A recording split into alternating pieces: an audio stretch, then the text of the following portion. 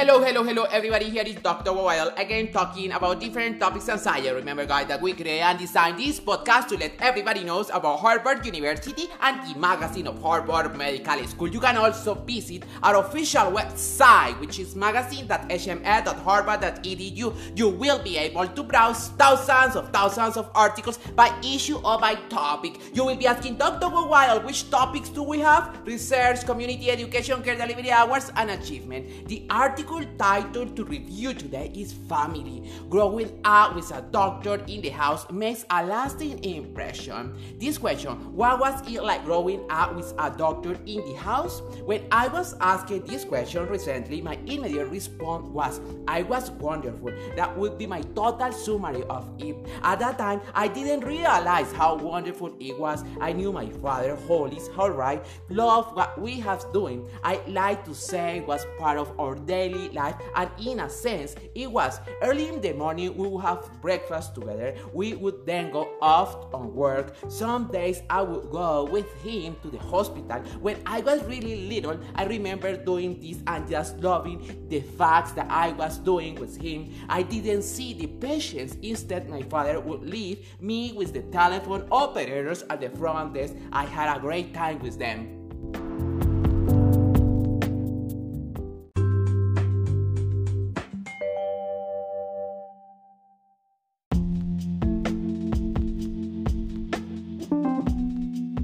From Cambridge, Massachusetts at Harvard University Medical School, I want to remind to everybody who's listened to Dr. Wild that we do mostly days these beautiful reviews from the magazine of Harvard Medical School. I continue straight away doing this beautiful review. Later, as I was entering the profession, I remember leaning on his example. He wouldn't guide me saying do this or do that. Instead, I would then how though by listening and by watching him work. I remember one time I was doing an appendix vasectomy on a seven years old girl. He stuck his head in the door, saw what I was, and he said, make the incision just where you would on Lilis. Lilis is a one of the daughters who has six or seven years old. My first reaction was, how would he say thought that thing? And then I realized he was telling me that every single case is just that personal, whether it's your daughter or someone else's daughter.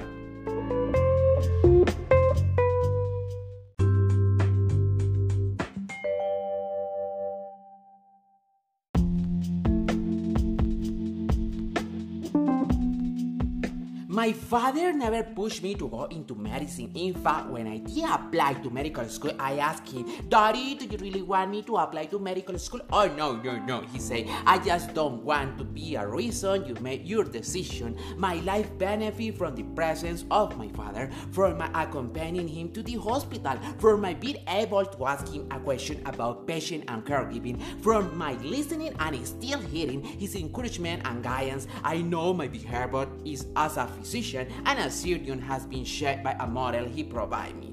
But what about other children or physicians? What sorts of stories of their profession do other doctors have? Especially others who, like my father and me, share not only a family name and a profession, but also the experience of an education at Harvard Medical School.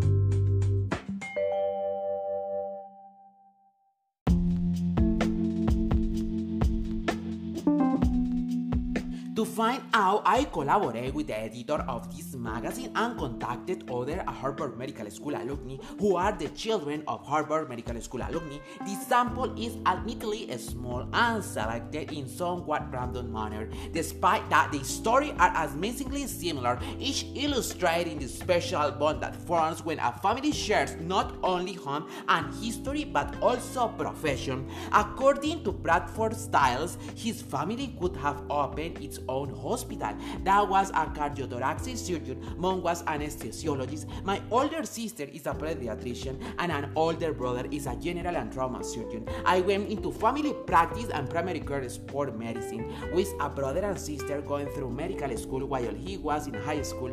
Brad had a good look at the profession before deciding to enter it. Exposure to hospital routines came from his parents, Quentin and Clarence. Quentin said he would occasionally take Brad to rounds on weekends when I just had to check on a patient's operation on the to make sure they were alright. Brad would hand out the nurses and eat donuts. Brad's excursion with Clyde had a different caution. When I knew there wouldn't be anyone at home, I would have and would take Brad to the hospital with me, stick him as soon and either but him in the isolation room or he's in the laboratory and let him blow people on the ceiling she had. His pitbull star is still there by the way.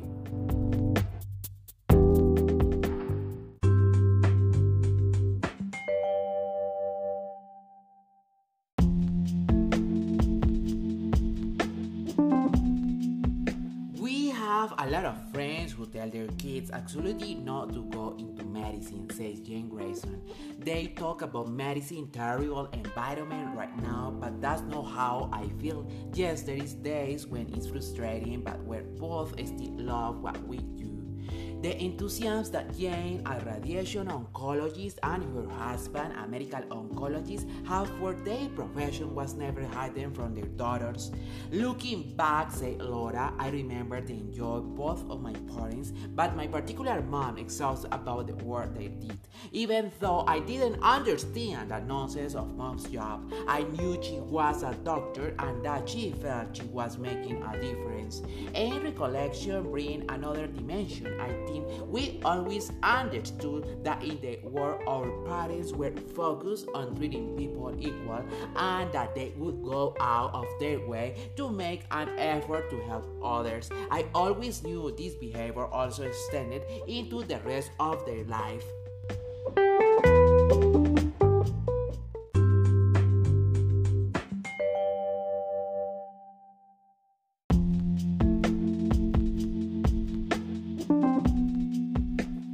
When Joan Martinez, a pediatrician, moved to Honduras with her husband, a primary care physician, and three children under the age of two, she thought she might practice part time so that she would be her growing family. But the constraints that came with practicing in a different country changed those plans. Joan elected to stay at home and tend to treat the four hospitals of informatically care of the children of friends, to volunteer in orphanages, examining babies who were about to be adopted and to work with Interplast in the charity of United States plastic surgeons who travel annually to Honduras to perform reconstructive surgeries on indigent children.